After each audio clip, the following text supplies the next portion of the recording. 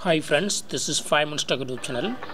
Here is OnePlus Nord CE2 Lite 5G smartphone.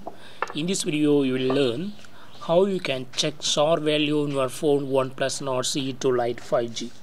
First, go to call button and type star hash 07 hash.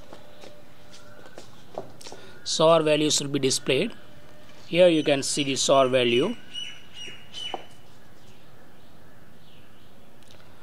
Head SAR equal to 1.186 watt per kg and body SAR is 0.709 watt per kg.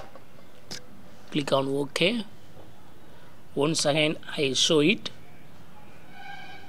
You go to type star hash 07 hash and SAR values will be displayed.